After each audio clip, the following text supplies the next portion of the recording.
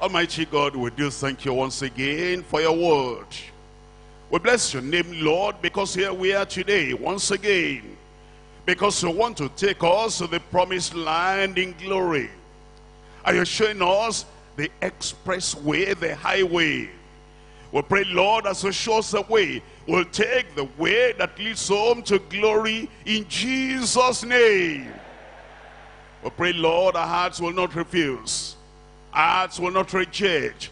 But this way you place before us will follow through until the end of our journey in Jesus' name. Speak to every heart now, to the young, to the old, to the men, to the women, to the members, to the invitees. Everyone, Lord, will hear your word in Jesus' name. And fulfill your will in the word in our lives. In Jesus' name we pray. Thank you very much. We can sit down. We come to this important subject, heavenly citizenship. What the subject that is. And what revelation we have in the Word of God. That the ultimate goal and the reason why Christ came and the reason even for the creation of man is that God eventually will be able to have a people that will live with him and live with him forever. And we need to know and understand and remember that however long we spend on earth, become a Methuselah, live more than 900 years here on earth. 900 years, a thousand years is nothing. In comparison with a million years, a trillion years, in comparison with millions and millions of years without end. And if there's anything we ought to be thinking about, if there's anything we ought to be reading about, anything we ought to be praying about without ceasing, it is that so that we become the citizens of heaven. Everything we do on earth is a preparation for glory. And the reason why the Lord Christ came is to prepare us and take us or bring us to glory. Hebrews chapter 2. Hebrews chapter 2. Reading from verse 10. For it became him. For it behooved him. For it befitted him. For whom are all things, and by whom are all things, in bringing many sons unto glory, to make the captain of their salvation perfect through suffering. The reason why Christ came is so that he eventually it will take many sons to glory. Many people to glory. And the people of God understood that. They knew that's the reason why Christ came. And it was in their heart that they will be citizens of heaven. Hebrews chapter 11 verse 10. Hebrews 11 verse 10. For he looked for a city which has foundations, whose builder and maker is God. They had cities to live on earth, but they knew that that was earthly, temporal, only of this world. And because of that, their hearts were longing. Their hearts were desirous. And they were looking ahead to the time they will see the Lord and live and dwell with the Lord in eternity. They were rich enough, some of them, but they looked for a city up in glory, up on high. They were popular on earth, but even with the popularity, they said that's not enough. The popularity is going to be for a few years. They still look for a city. There are many people around them, sons, daughters, neighbors, relatives, but they said that's not enough. They still looked for a city. And they had a lot of investment here in the world. But they knew whatever investment they had, whatever possession they had, whatever inheritance they had, they said that's not enough. But they still look for a city which has foundation, whose builder and maker is God. Some of them had power and authority. Some of them had possessions. And they had some kind of servants. They could control some of them hundreds, thousands of servants. But he said, all that will come to an end one day. Because of that, they were looking for a city which has foundations, whose builder and maker is God. Verse 13, these all died in faith, not having received the promises, but having seen them afar off. They were persuaded of them, and embraced them and confessed that they were strangers and pilgrims on the earth. And he said, as strangers and pilgrims, you don't settle as if this is your final home. As if this is your eternal home.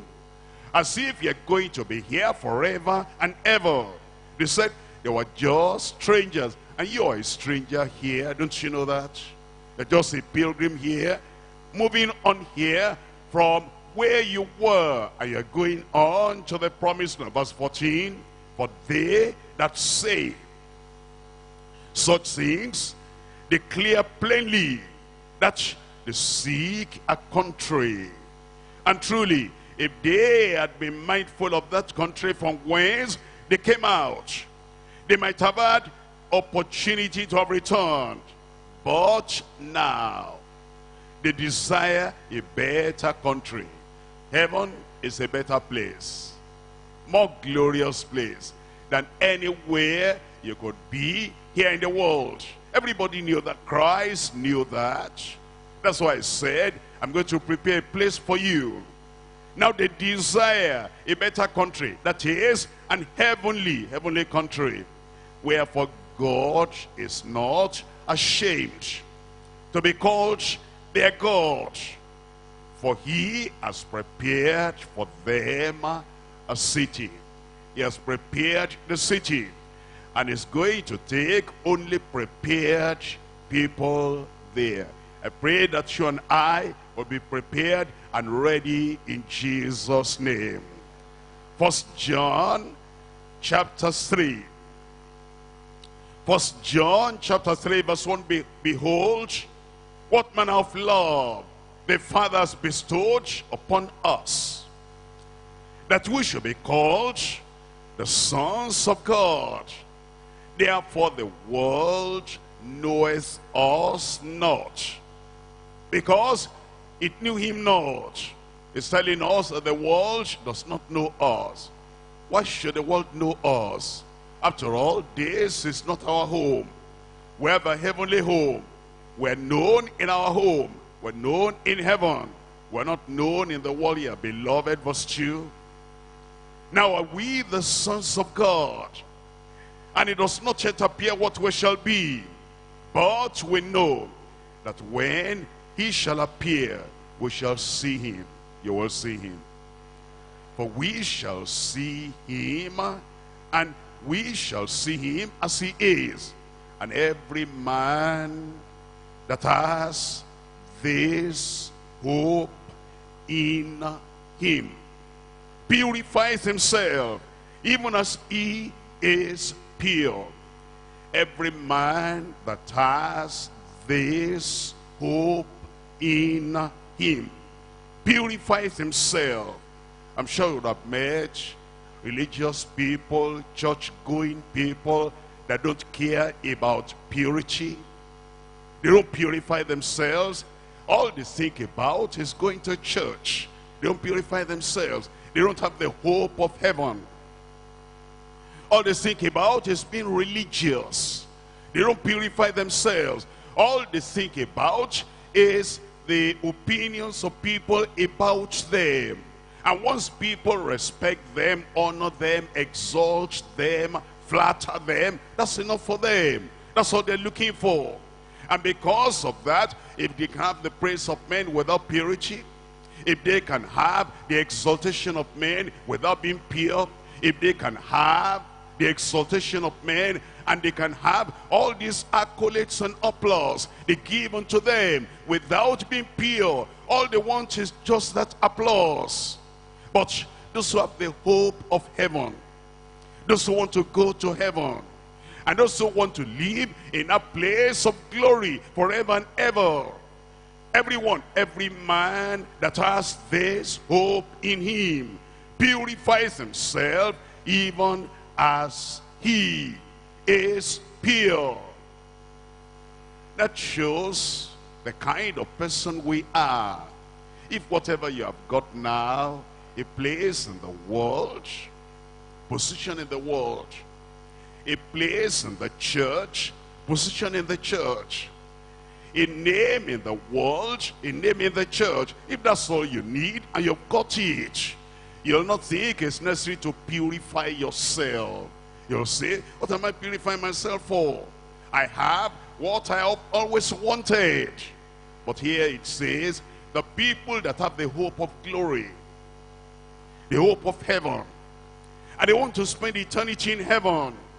Every man, without exception, because only the pure will reach there. Only the holy will reach there. Only the righteous will reach there. Every man that has this hope in him purifies himself, even as he is pure. Heavenly citizenship will be there in Jesus' name. Give me a good, good amen. I'm dividing the message to three parts. Number one, passion and pursuit of the heavenly city. Passion and pursuit of the heavenly city.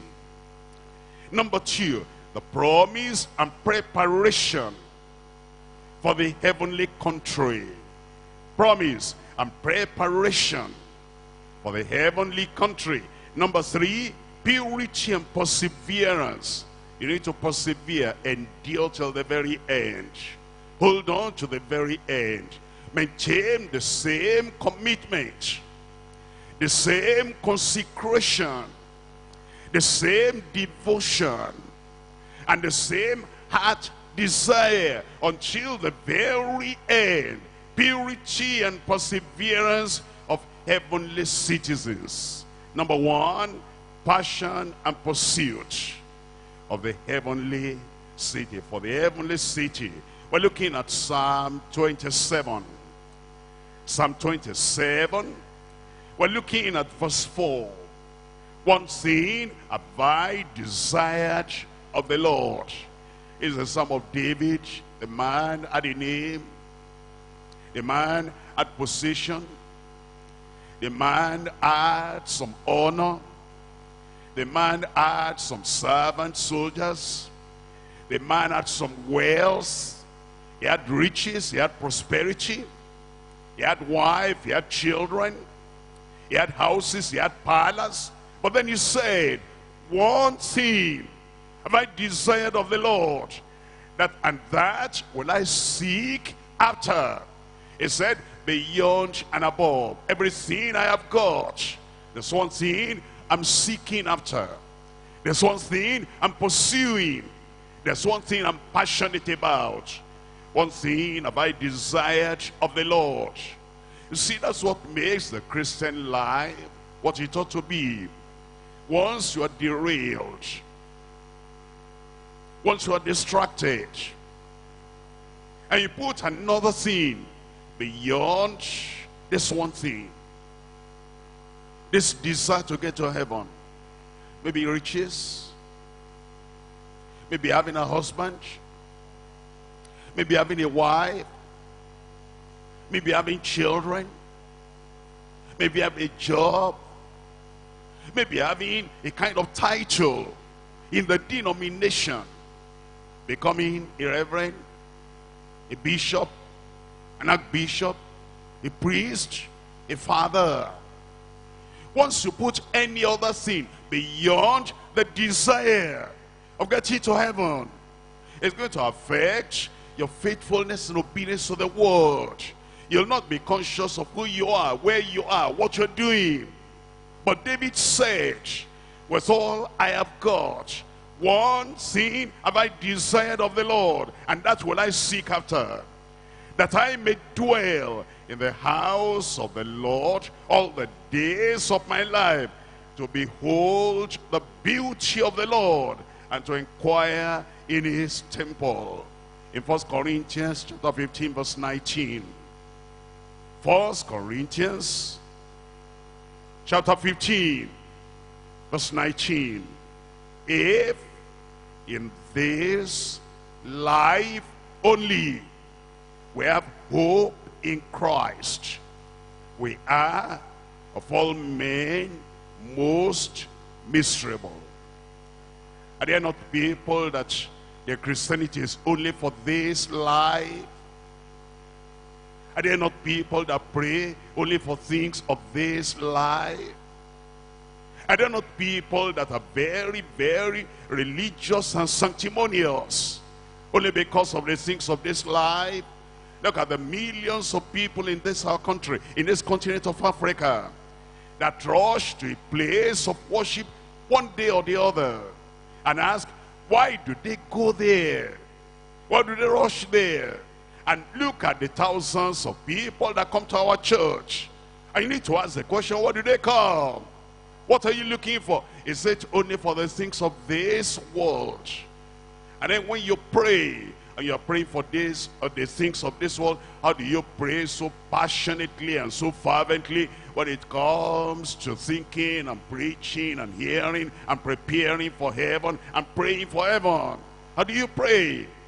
If only, if in this world, in this life only, you have hope in Christ, you'll be of all men the most miserable.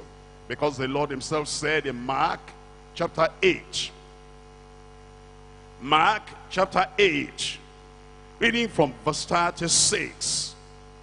For what shall it profit a man if he shall gain the whole world? What will you do to gain something in this world? Maybe you want to gain money. What do you do to gain money?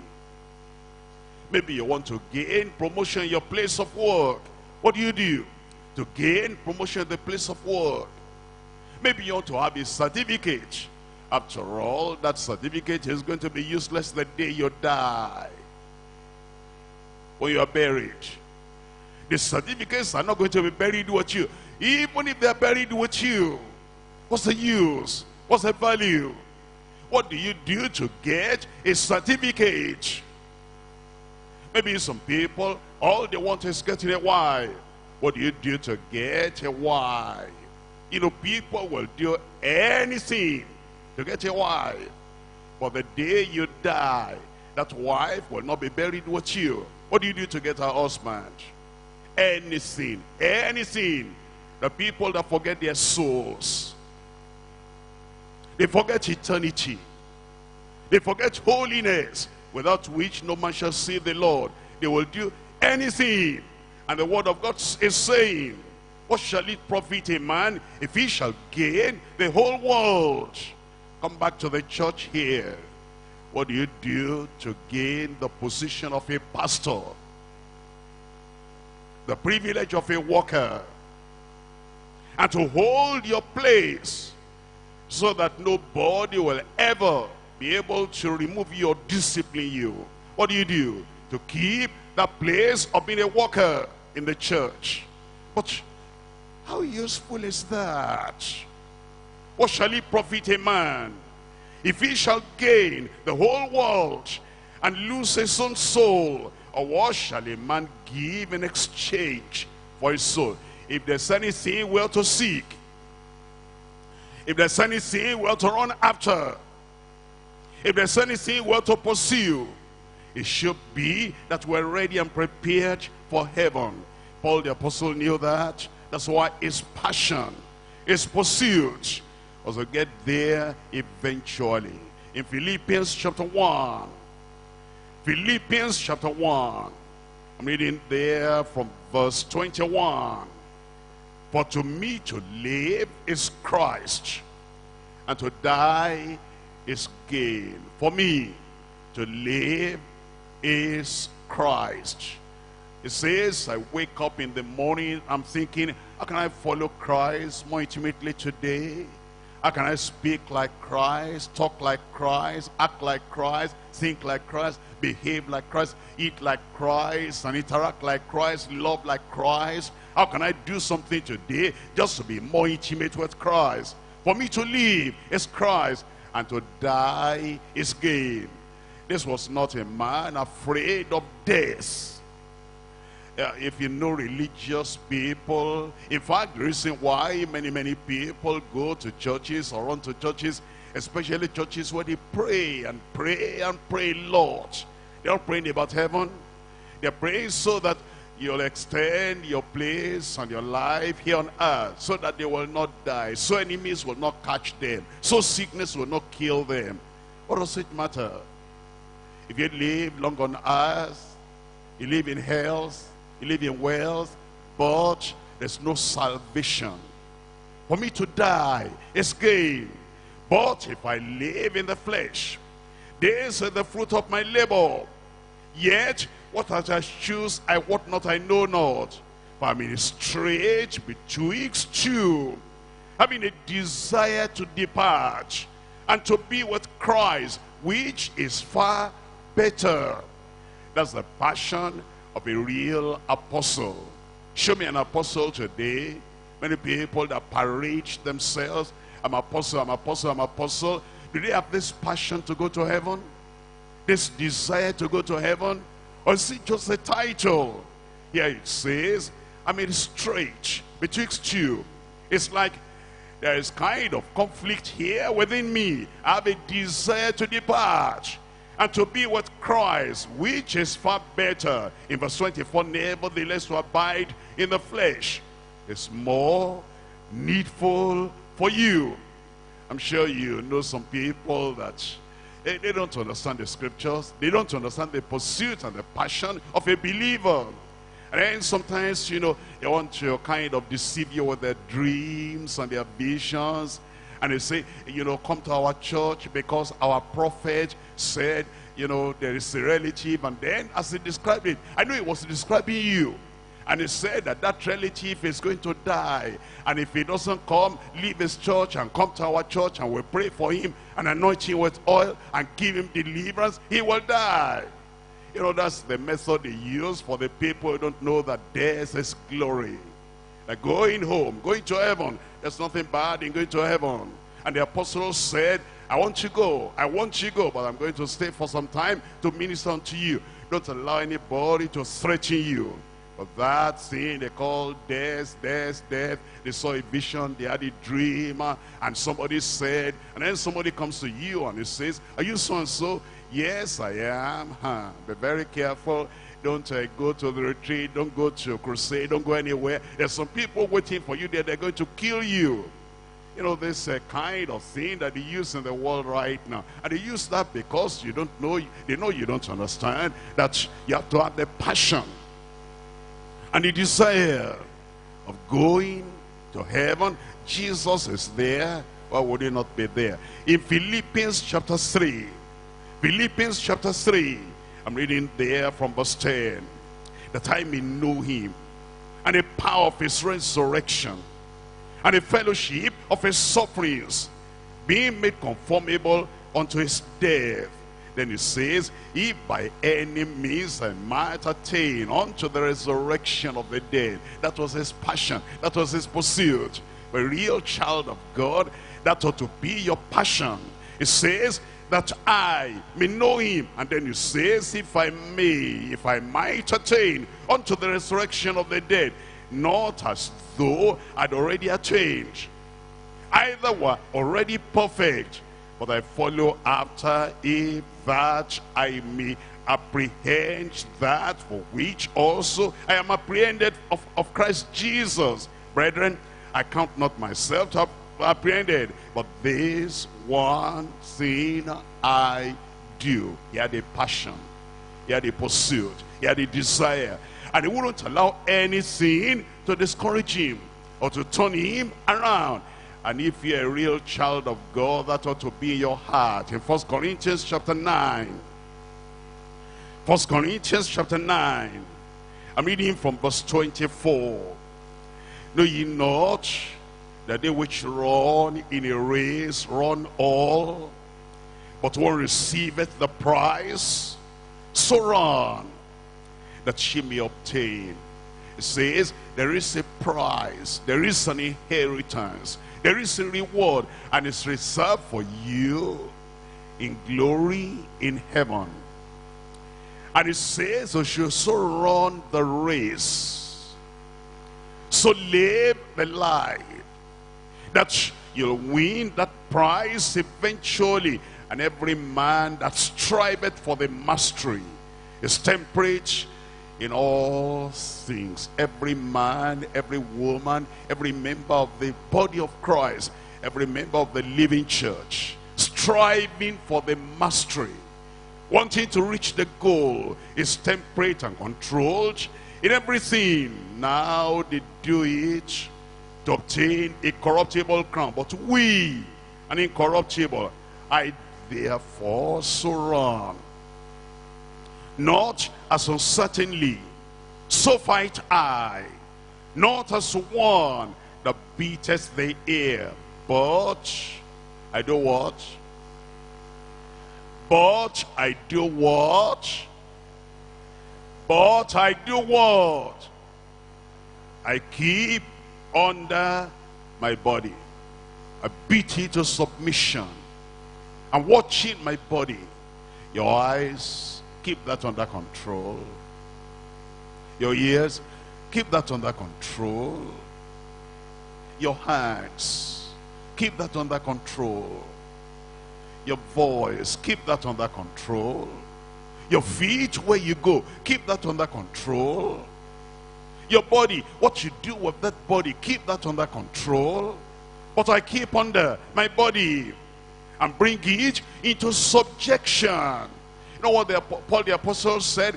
Paul the Apostle said, I may bring other men and women to under subjection. That doesn't get me to heaven. I can bring even the Gentiles, Gentile nations, bring them under subjection.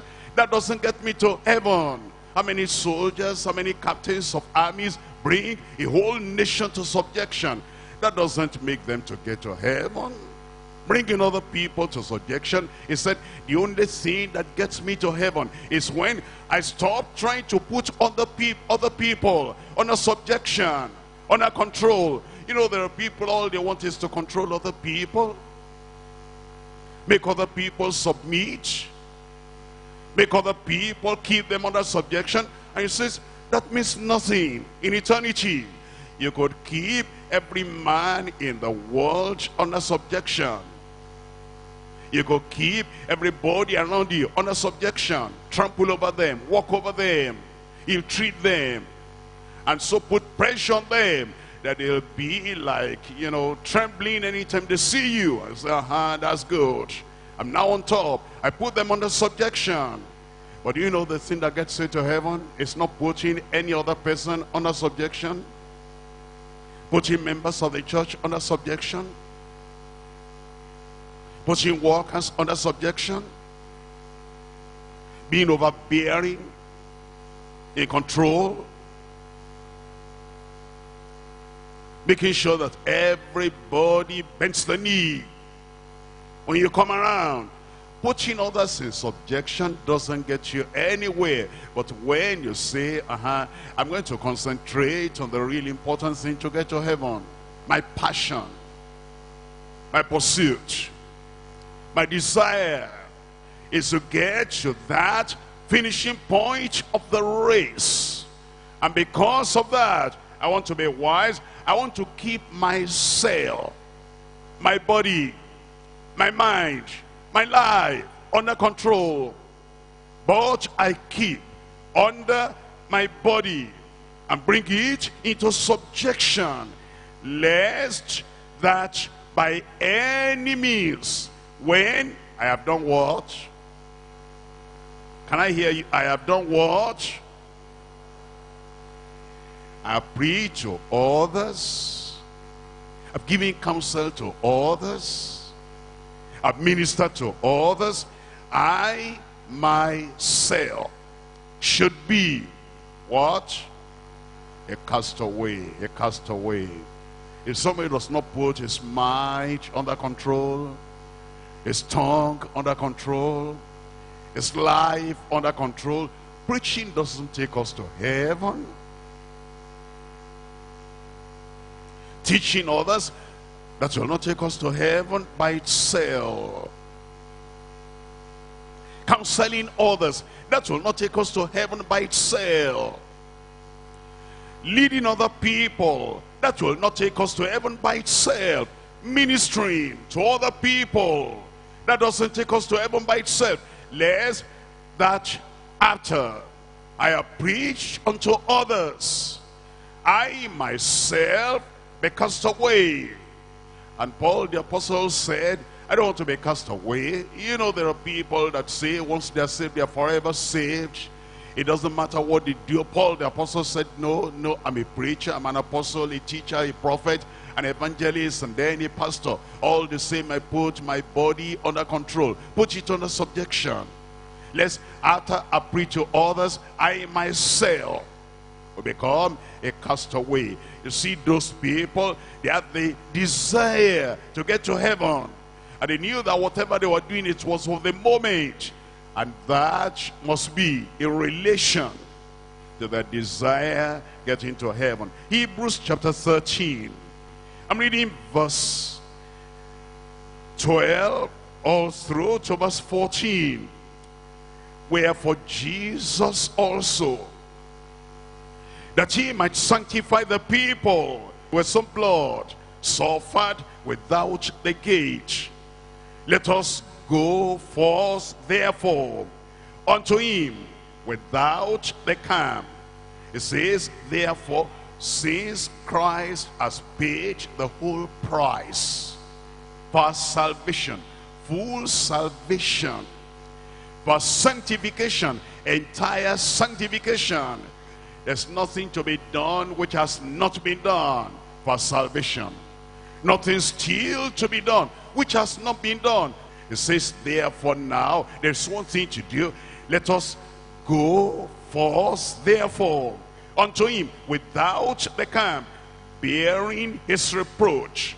For here we have no continuing city, but we seek one to come. I pray you'll be there in Jesus' name.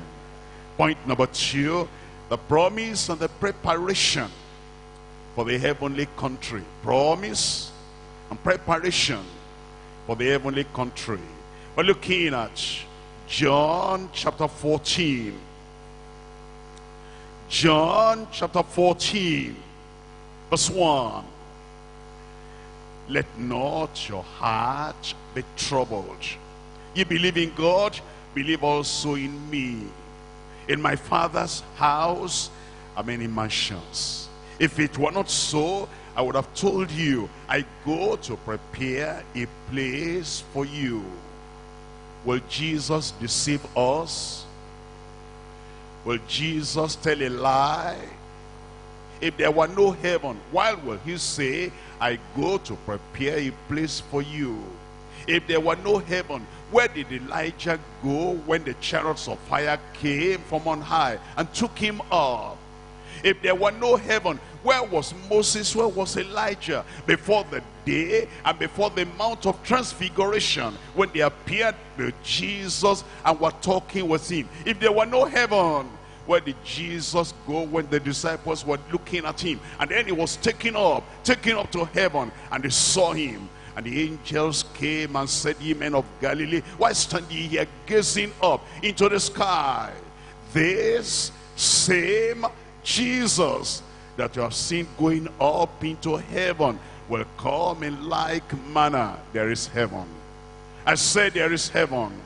In my father's house how many mansions? If it were not so, I would have told you. I go to prepare a place for you. And if I go and prepare a place for you, I will come again and receive you unto myself, that where I am, where I am. Where is Jesus now? Where is Jesus today? Where has Jesus been since he went? In heaven. Where I am, there ye may be also. That's a promise. That's a promise. I pray that that promise will be fulfilled in your life in Jesus' name. First Peter chapter 1. First Peter chapter 1, verse 3. Blessed be the God and Father of our Lord Jesus Christ, which according to his abundant mercy has begotten us again, born again, begotten us again, unto a lively hope, by the resurrection of Jesus Christ from the dead, to an inheritance incorruptible and undefiled, and that fadeth not away, reserved in heaven for you. That's a promise. It's reserved an inheritance for us. What do we do then? Verse 14. As obedient children, not fashioning yourselves according to the former lusts in your ignorance, but as he which has called you is holy, so be holy. How? In all manner of conversation, because it is written, Be holy, for I am holy. Verse 22, Seeing ye have purified your souls in obeying the truth through the Spirit unto unfeigned, unpretending love of the brethren. See that ye love one another with a pure heart fervently. Being born again. That's very important. Born again. Born again. Born again. To be able to get to heaven. Born again. Not of corruptible seed. But of incorruptible by the word of God which liveth and abideth forever. For all flesh is as grass, and all the glory of man is the, as the flower of grass. The grass withereth, the flower thereof fadeth away. All the glory of man. All the things you honor men for, it's like flower, it's going to fade away. But the word of the Lord endureth forever. And this is the word which by the gospel is preached unto you. That tells us then the promise of heaven. And Jesus said in chapter 17 of John, John chapter 17, reading from verse 24, John 17, verse 24, it tells us, Father, I will that they also whom thou hast given me, be with me where I am. You see the desire of Christ, our Lord, our Savior. I will, I desire those who have given unto me, that they'll be with me where I am. For thou, love, and then it says in verse 24, that they may behold my glory, which thou hast given me for thou loved me before the foundation of the world. Luke chapter 13.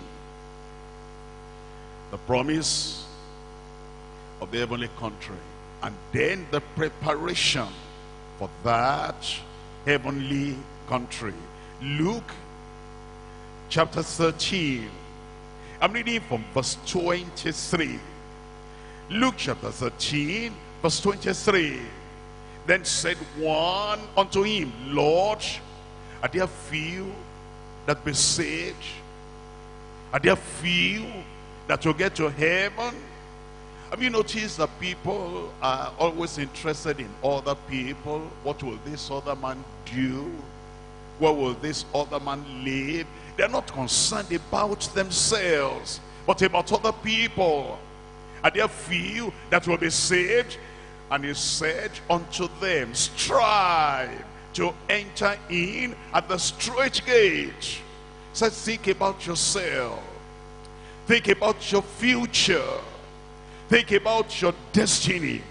And think about where you in particular, where you will spend eternity. Don't think about other people, talking about other people. You know, this world is like, you know, they don't care about themselves much, but they care about other people. It's like, are there few people that will be rich? What's that to you? What you want is what you should go for. Are there people that will be healed from sicknesses? What's that to you? Just for yourself. Are there people that will be educated? Not for yourself. Just think about yourself. Are there people that will be saved that will get to heaven? He said unto them, Think about yourself and strive to enter in at the straight gate. For many, I say unto you, will seek to enter in and shall not be able. When once the master of the house is risen up and has shut to the door, and ye begin to stand without and to knock at the door, saying, Lord, Lord, open unto us. And he shall answer and say unto you, I know you not whence ye are. Many people, what will be their response when the Lord says, I don't know you where you are coming from? Verse 26. Then shall ye begin to say, We have eaten and drunk in thy presence. Where was that? That was at their retreat. They had 5,000 there, not counting the men, the women, and the children. And he says, sit down. And they sat down. And he fed them. And they only ate the physical food. They didn't take the spiritual food. And didn't take the food that will make them to live and live with the glory of God in their lives until they got to eternity. And so they began to say, We've eaten in your presence. You were there, we were there. And thou hast taught in our streets. But he shall say, I tell you, I know you not whence ye are. Depart from me. Tell me the rest. Tell me the rest. Say that again. All ye, all, all, all. No exception, all, all. All ye workers of iniquity God is no respecter of persons. Coming to church, if you see a worker of iniquity, a worker of evil, a worker in sinning, developing and growing in sinning, in evil, all ye workers of iniquity. Then there shall be weeping and gnashing of teeth when ye shall see Abraham, Isaac, and Jacob, and all the prophets in the kingdom of God, and you yourselves thrust out, thrown out, cast out. And they shall come from the east, and from the west, and from the north, and from the south, and shall sit down in the kingdom of God. And behold, there are last, which shall be first, and there are first which shall be, tell me, last, last. What does that mean? You know the new converts, how they are eager to serve the Lord. You know the new converts, how they are passionate in serving the Lord. You know the new converts, how they are on fire for the Lord. You know the new converts, how they obey the Lord promptly. And then those are the last that shall be first. You know the old timers. You know the people that got saved many, many years ago. And you know how cold they are. And you know how slow they are. And you know how they say, I knew that before. No pastor is going to jerk me up and stir me up and push me up and lead me on. I'm going to take my time. And when I want is when I will do it. The first that shall be last. I pray that the fire of God will burn your soul in Jesus' name. And you'll not be among the first that shall be last. You can, you can be the first and can remain the first. At least Enoch remained the first. And Elijah, he remained the first. And Peter and Paul and John, they remained in the front line until they died. Will remain on the front line till we die in Jesus' name. That's what it's going to take for us. To, now we need to make preparation, preparation, preparation. We're looking at Psalm 15 verse 1. Psalm 15. We're reading from verse 1. The preparation we're making for that heavenly country. Psalm 15 verse 1. Lord, who shall abide in the tabernacle? Who shall dwell in thy holy hill? He that walketh uprightly, that walketh righteousness, that speaketh the truth in his heart. Do you know many people have the truth in their heart, but say another thing with their tongue? Do you know how many people know the exact thing, the absolute truth in their heart, but say another thing with their tongue? But to get to heaven and to live in heaven forever, it takes you forgetting whatever it is. If I tell the truth, what's the consequence? It takes you forgetting the consequence of telling the truth. And just go ahead and tell the truth. He that walketh uprightly, he that walketh righteousness, he that speaketh the truth in his heart, he that backbiteth not with his tongue. That's how to get to heaven. What price are you willing to pay to get to heaven? What are you willing to do to get to heaven? If backbiting has become the sweet thing that you do every day, talking about your leaders, about your overseers. No more preaching. No more evangelism. No more soul winning. All you have to talk about is just talk about that overseer. Talk about his wife. Spread information about their children. That's now your full-time business backbiting. And to get to heaven, are you willing to pay that price of just allowing other people to mind their business? And you mind your own business and live your own life. And say, I'm not interested in any information. Information about this, about that, about brother, about sister, about that child, about their children, about their wife, about their husband. I'm not interested. All I want is to get to heaven. That's my push. That's my passion. That's my pursuit. And all this gossip here and there, count me out of that. He that backbiteth not with his tongue, nor doeth evil to his neighbor, nor doeth evil to his neighbor. You know the people of the world, before you hurt them, they try to hurt you first. You have not even hurt them. You have not done anything against them, but they are suspecting should in case he may have the intention to hurt me. Let me hurt him first and paralyze him. Let me hurt him first and destroy him. Let me hurt him first and then stop his intention. A believer doesn't do that. A believer will turn the other cheek. A believer will say, what does it matter? Maybe he wants to hurt me. Who knows? Let him go ahead and do it. That's only in the world the Lord will reward me for that in eternity. But you know the backsliders of today, they want to hurt you before you even make any attempt to do anything against them. And it says over here that he, do, he doesn't do any evil to his neighbor. Taketh up a reproach against his neighbor. In whose eyes a vile person is contemned that vile person may have money. He says, go away with your money. Who needs your money? Dirty money. A vile person is contemned. A person that is immoral, that is evil, bringing gifts unto you. Reject it. That's how to get to heaven.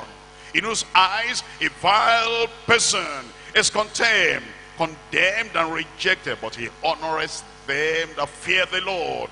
He that sweareth to his heart and changeth not. He that putteth not out his money to usury, nor taketh re reward against the innocent. He that doeth this thing shall never be moved. That's how to get to heaven. Psalm 24.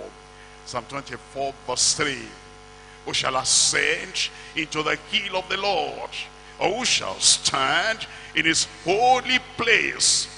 Then he tells us very clearly in verse 4, He that has clean hands. He that has clean hands. He that has clean hands. Your hands are not sticky. To take the money that doesn't belong to you, either in the office or in the community the biros and the papers of the office. Your hands are not sticky to take them without permission. And of course, you don't touch your maid. Or you don't touch and defile your daughter. If you're going to get to heaven, your hands are clean and you don't touch another man's wife. Don't allow the sin they call the flesh to drag you to hell. One day in hell, you'll forget all the pleasure you ever had with another man's wife. Let your hands be clean. Don't allow lust, immorality. Don't allow all those pleasures of the flesh touching other people's wives, defiling other people's wives, to take you to hell. What a great price you pay for dishonoring the Lord. It says, he that has clean hands and a pure heart, a holy heart, a new heart, a sanctified heart. Then it says, who has not lifted up his soul unto vanity, nor sworn deceitfully. I pray God will get us ready for heaven. I said he'll get us ready for heaven. Have you noticed that kind of that kind of amen? If I said God will get us ready for healing, for deliverance, your amen will take away the roof. But then I say once again, I pray God will get us ready for heaven. You know, in the earlier years, that's what deeper life stood for. That's what we're still standing for. We have always believed in healing, but we put healing behind holiness. We have always believed it's good to be joyful and happy, but we have always put happiness behind holiness, not before. We always made holiness to be number one. If healing comes after, praise the Lord. If happiness comes after, praise the Lord. But healing will come behind. Happiness will come behind. Holiness, our watchword and lifestyle. Holiness, number one. I pray God will do it for us. Number three now, the purity and the perseverance. The purity and the perseverance. The Lord is telling us that if we're going to get to heaven, and thank God he has prepared a place for us, we want to get there. And he's giving us the highway to that promised land. The highway. The highway to that promised land. And he's showing us how we what we need to do and how we need to get there. And he tells us, except a man be born again, he cannot see the kingdom of God.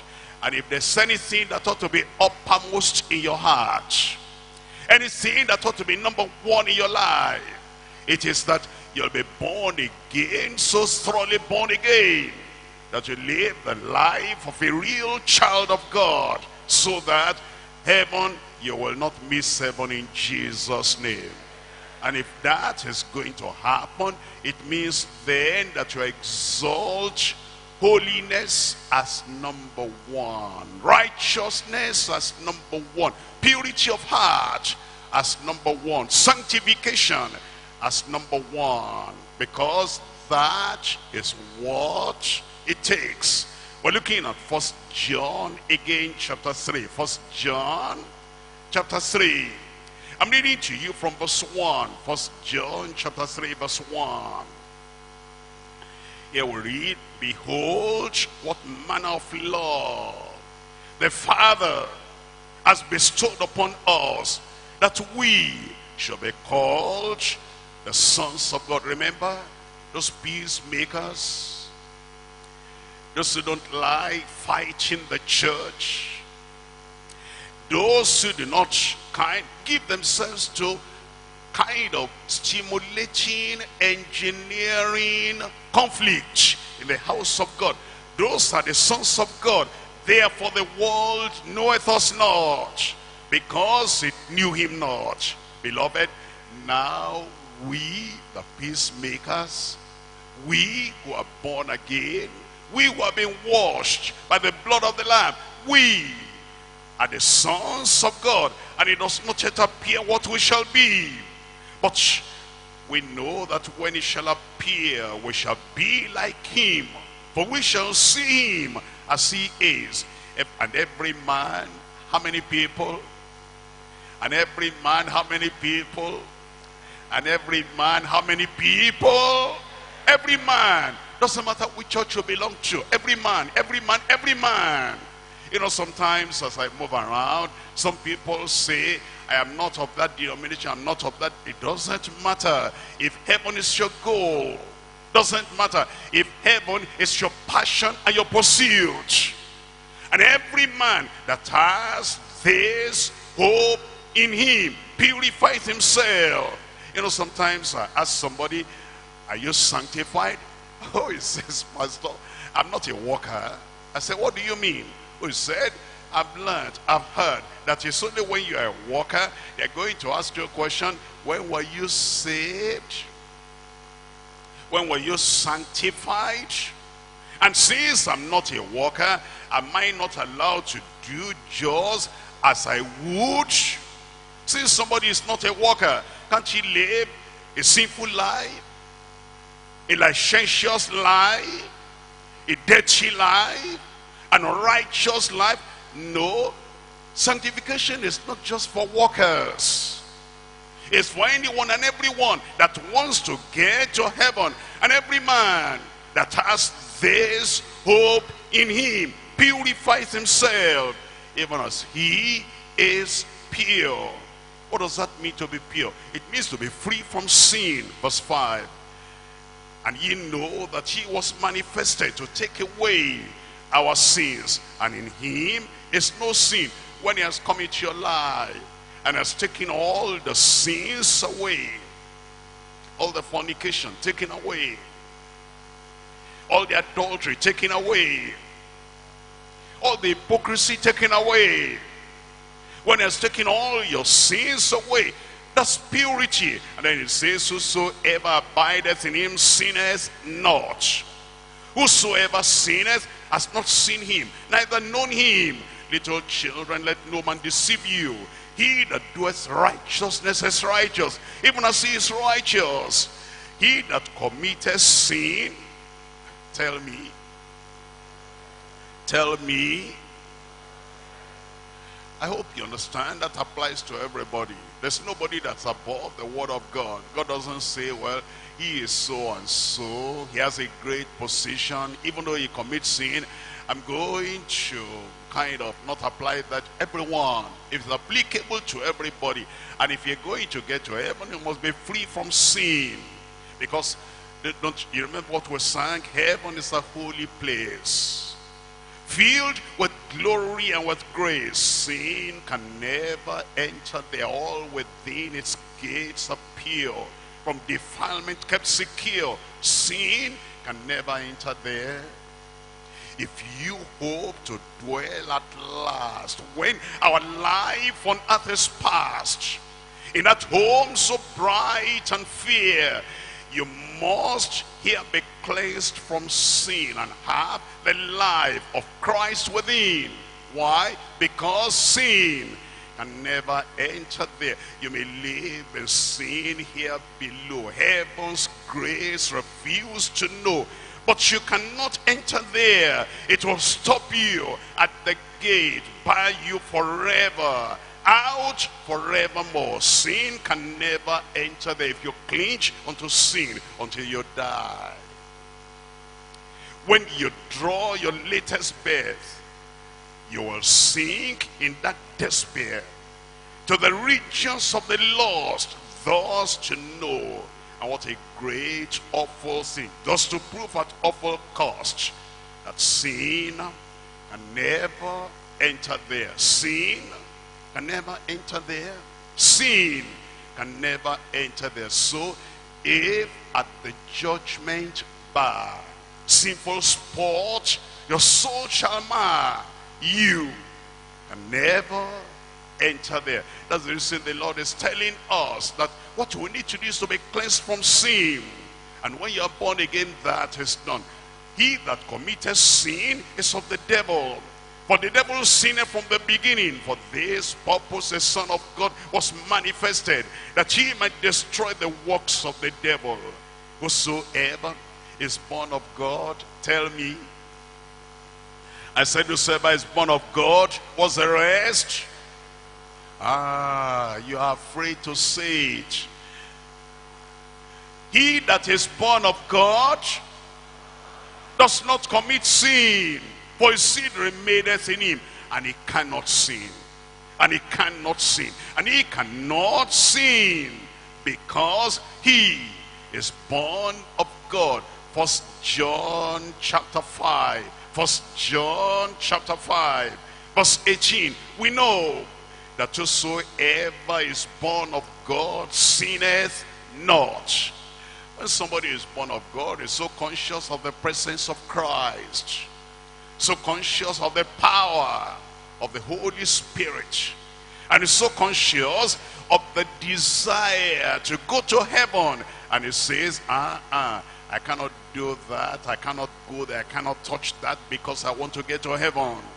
And says over here we know that whosoever is born of God sinneth not.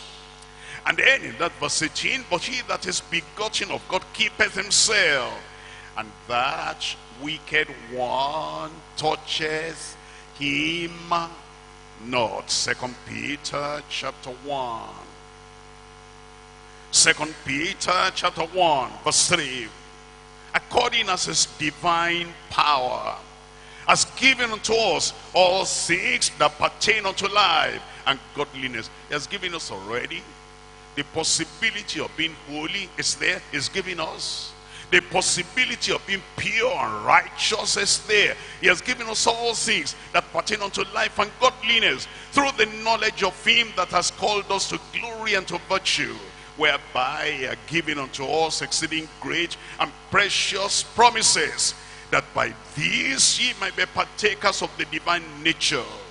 That's what it takes to become holy. That's what it takes to become righteous. That's what it takes to become a member, a citizen of that heavenly city, heavenly country. That it makes us partakers of the divine nature, having escaped the corruption that's in the world through lust. And beside this, giving all diligence, add to your faith virtue, and to virtue knowledge, and to knowledge temperance, and to temperance patience, and to patience godliness, and to godliness brotherly kindness, and to brotherly kindness charity. For if these things be in you and abound, they make you that ye shall neither be barren nor fruitful in the knowledge of our Lord Jesus Christ. But he that lacketh these things, he that lacketh saving faith, he that lacketh diligence, he that lacketh virtue, he that lacketh the knowledge of the things of the Lord, he that lacketh temperance, self-control, self discipline, he that lacketh patience, perseverance, he that lacketh godliness, he that lacketh brotherly kindness and brotherly charity, eh, love and charity, he that lacketh these things is blind and cannot see afar off, and has forgotten that he was purged from his old sins. Verse 10, Wherefore, the rather, brethren, give diligence to make your calling. Don't worry about others, just yourself. To make your calling and election sure. For if you do these things, you shall never fall. I pray you will not fall. I said it will not fall. Hebrews chapter 12. Hebrews chapter 12 verse 14 follow peace with how many people tell me out loud follow peace with all men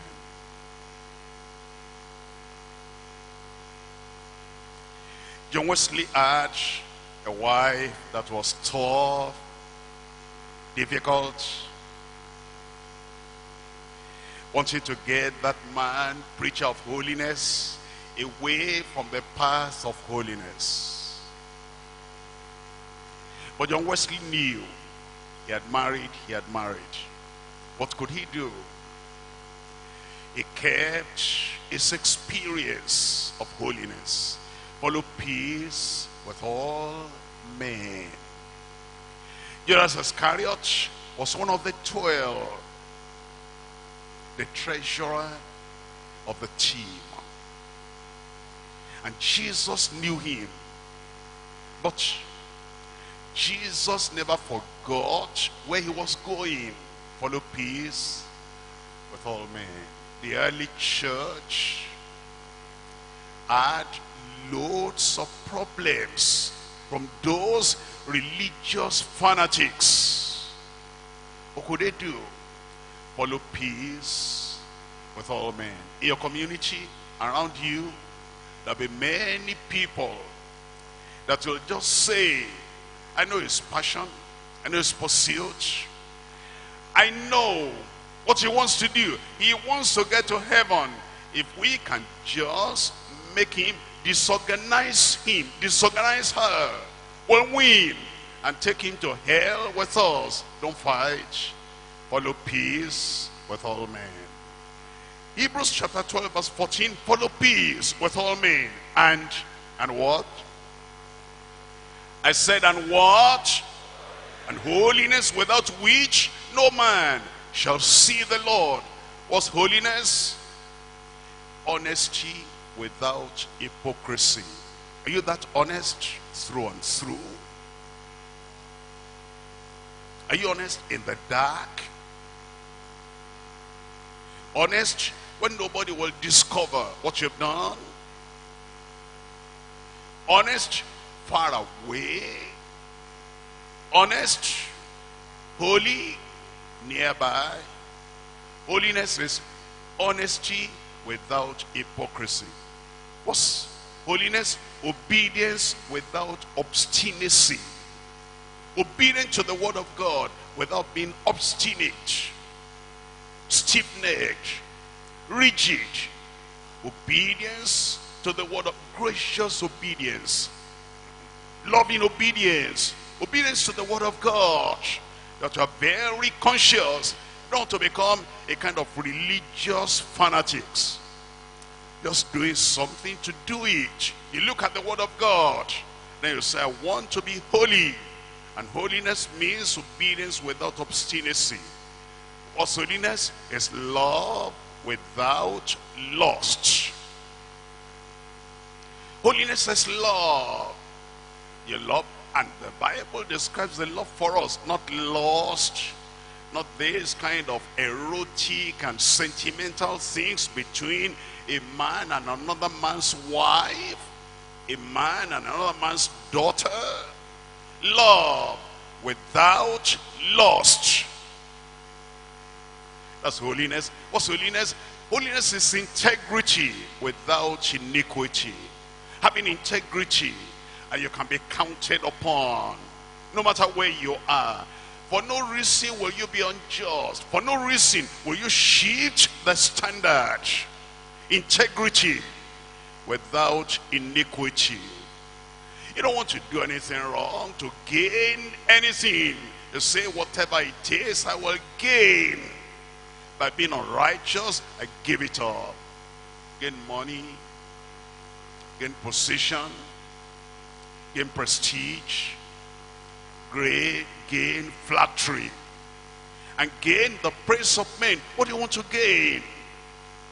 Holiness is integrity without iniquity. What's holiness? Holiness is newness without negligence. New, new heart, new life, new behavior without negligence. Because you're a new creature, that doesn't make you to neglect your duty. That doesn't make you to neglect your responsibility. Holiness is newness of life without negligence. Was holiness endurance without enmity. Endurance without enmity. You know, there are people that endure, but they have so much enmity in their heart. I will endure their pressure, but I hate them. That's not holiness. I will endure the discipline, but I hate the pastor. And when he calls me back, I will show him, I will fight back. I will endure the inconvenience, but I'm going to use some wisdom and I'm going to torment that man that is giving me that inconvenience. That's not holiness. I will endure whatever I'm going through, but I will never pray for that man or love that man. That's not holiness. What's holiness? Endurance without enmity. What's holiness? Self-denial without self-indulgence. Self-denial without self-indulgence. That's what Jesus said. And he said, if anyone follows me, let him take up his cross, deny himself, and follow me. He said in another place, if a man follows me and he does not take up his cross, deny himself, bear his cross, he cannot be my disciple. Holiness is self-denial without self-indulgence. What's holiness? Holiness is steadfastness without stubbornness. You're not to be steadfast in evil, the stubbornness. You're not to be steadfast in rebellion, the stubbornness. You're not to be steadfast in wrong doctrine, in false doctrine. Holiness is steadfastness in good doctrine, good behavior, good lifestyle. Holiness, steadfastness without stubbornness. And that's what the Lord said, follow peace with all men. And holiness without which no man shall see the Lord. Honesty without hypocrisy. Obedience without obstinacy. Love without loss. Integrity without iniquity. Newness without negligence. And endurance without enmity. Self-denial without self-indulgence. Steadfastness without stubbornness. I pray God will give it to us. I said God will give it to us. Follow peace with all men. Holiness without which no man shall see the Lord. Rise up and let us pray.